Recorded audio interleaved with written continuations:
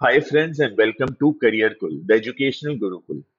इन ये वीडियो हम लोग current news and current affairs के ऊपर बना रहे हैं India and the world this is helpful for students जो यूपीएससी का एग्ज़ाम दे रहे हैं एसएससी का दे रहे हैं बैंकिंग का दे रहे हैं और this is general knowledge for the general public we will try to connect it with different careers जो हम लोग करियर काउंसलिंग में बताते हैं तो डिफरेंट करियर्स में एक्चुअली करेंटली क्या चल रहा है इससे हम लोग इसे कनेक्ट करने की कोशिश करेंगे.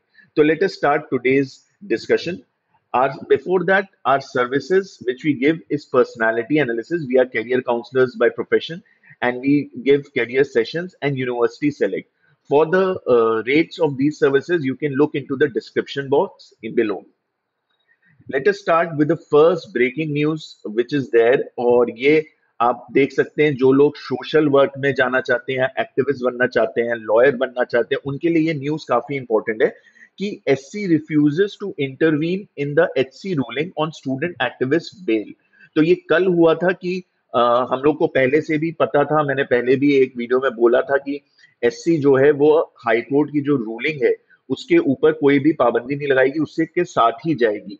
क्योंकि अब ये क्यों इंपॉर्टेंट है? ये इसलिए इंपॉर्टेंट है कि एक साल से जो लास्ट दिल्ली राइट्स हुए थे लास्ट ईयर जब सी का मुद्दा उठा था तब कुछ स्टूडेंट्स को गिरफ़्तार कर लिया गया था अंडर यूएपीए ठीक है? अंडर यूएपीए ये नॉन बेलेबल ऑफेंस होता है। तो इसमें बेल मिलती नहीं है। तो ये एक साल से जेल में थे। What H C has said वो the high court has said कि right to protest is valid अगर स्टूडेंट्स प्रोटेस्ट कर रहे हैं तो वो तो वैलिड है। And it should not be confuse with any terrorist activity तो और उनके साथ साथ उन्होंने ये भी बोला है कि जो जून फिफ्टीन का ऑर्डर आया है, जिसमें ये बोल रहे हैं कि जिसको यूएपीए के अंडर बेल मिली है this should not be use as a president मतलब इसे एग्ज़ाम्पल की तरह नहीं लेना चाहिए कि ये बोलना चाहिए कि अगली बार कभी किसी को यूएपीए के अंडर हमने बुक किया तो फिर हम ये बोलें कि नहीं, क्योंकि तब बेल मिली थी, इसलिए अभी भी बेल मिलना जायज़ है। ये चीज़ उन्होंने अभी से ही खारिज कर दी है। They have said this is not a president and it will not be used as future examples for any other case हम अलग से वीडियो बनाएँगे कि यूएपीए एक्चुअली पूरा है क्या, कब आया और उसके अंदर क्या क्या होता है। The second news is Twitter has been called has been called by the parliamentary committee पूरे वर्ल्ड में ही इस वक्त प्राइवेसी इश्यूज़ बहुत ज़्यादा आ रहे हैं तो काफ़ी कंट्रीज़ ने बहुत बड़े बड़े सोशल मीडिया हाउसेस पर जो है बहुत हैवी फाइन्स भी लगाए हैं because of this privacy problems India में बहुत ज़्यादा इस तरह का फाइन तो नहीं लगाया है but Twitter has been called by the parliamentary committee जो पार्लियामेंट्री कमिटी है वो कौन सी है? That's a standing committee on information and technology और इसके हेड इनके हेड कौन है? इनके हेड है मिस्टर शशि थरूर. एजेंडा क्या है? एजेंडा क्या था जिनको बुलाने का? इनको बुलाने का एजेंडा ये था कि इन्होंने जो न्यू आईटी रूल्स आए हैं कुछ आईटी रूल्स आए हैं उनकी नॉन कंप्लायंस है तो ये पूछ रहे हैं इनसे कि इतना देर क्यों लग रही है आपको आ, हमारे जो आईटी रूल्स हैं, आप आप बाहर की कंपनी है, आप इंडिया में काम कर रहे हैं, आपको यहाँ के आईटी रूल्स फॉलो करने हैं। तो आपको आईटी रूल्स क्यों फॉलो करने हैं? क्योंकि ट्विटर पे कई बार आरोप लगा है कि दे आर बायस तो वो बायसनेस हटाने के लिए इन्होंने इसलिए ये कहा है कि आप नए न्यू आईटी रूल्स को फॉलो करिए। बहुत इंपॉर्टेंट न्यूज़ आ रही है यूपीएससी एस्पिरेंट्स या एसएससी एस्पिरेंट्स के लिए, वो है गल्फ ऑफ़ ईडन से। गल्फ ऑफ़ ईडन जो पड़ता है, वो सोमालिया के पास पड़ता है। सोमालिया के पास गल्फ ऑफ़ ईडन है। वहाँ पे पायरेट्स का बहुत प्रॉब्लम रहता था। ठीक है बाई 2010 इसे काफ़ी कंट्रोल किया गया और इसमें इंडियन नेवी का बहुत हाथ था। तो यहाँ पे क्या हुआ है? यहाँ पे एक मेडन नेवल एक्सरसाइज हुआ। मेडन नेवल एक्सरसाइज मतलब पहली बार एक एक्सरसाइज हो रही है। कौन सी कौन सी कंट्री कर रही है? तीन यूरोपियन कंट्रीज़, इटली, फ्रांस और स्पेन, और ये इंडिया के साथ मिलके मतलब चार कंट्रीज़ टोटल एक नेवल एक्सरसाइज कर रही है by the name of U U for U for तो EU standing for European Union NAV standing for the navy and for that is the formation तो ये लोग यूनेफॉर करके एक एक्सरसाइज कर रहे हैं, और इसमें आपको क्वेश्चन अगर कभी पूछा जा सकता है तो ये पूछा जा सकता है कि जब गल्फ ऑफ़ ईडन में मेडन एक्सरसाइज हुई थी तो कौन सी तीन यूरोपियन कंट्रीज़ थी? तो इटली फ्रांस और स्पेन था। इनकी जो शिप्स हैं कौन सी कौन सी शिप्स आ, के हैं उन्होंने नाम भी दिया हुआ तो आप पढ़ सकते हैं।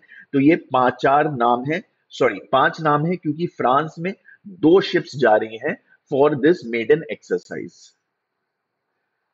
another very very big move that is coming and बहुत बड़ी न्यूज़ है ये भी कि टर्की को सिक्योर करना है काबुल एयरपोर्ट। काबुल कहाँ पर है? काबुल है अफ़गानिस्तान में। अफ़गानिस्तान में काबुल है। तो उन्हें सिक्योर करना है।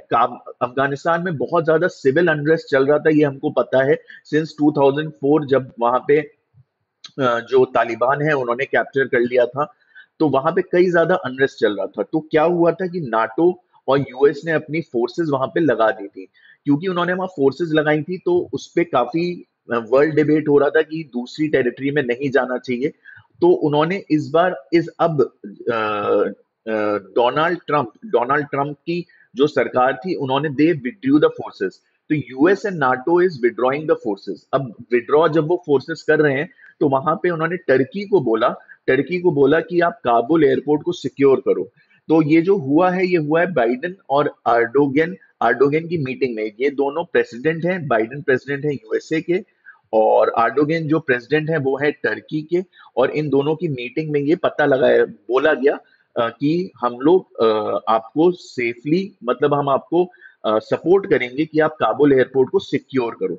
लेकिन इनमें कुछ कॉन्फ्लिक्ट्स की भी बात हुई, क्योंकि कुछ कॉन्फ्लिक्ट्स टर्की और यूएस में चल रहे हैं, उनमें से सबसे इंपॉर्टेंट कॉन्फ्लिक्ट जो है, वो ये है कि टर्की ने S four hundred defence systems लिए थे रशिया से और यूएस का कहना यह है कि अगर आपने रशिया से कोई भी आप मिलिट्री इक्विपमेंट्स uh, लेते हैं तो हम आपसे बात नहीं करेंगे। बट uh, ये सर्टन कॉन्फ्लिक्ट्स हैं वो बात करते हैं इंडिया भी खरीदती है और वो लोग बात करते हैं। There are certain policy differences in Syria Syria में क्या प्रॉब्लम है ये हम लोग बाद में डिस्कस करेंगे।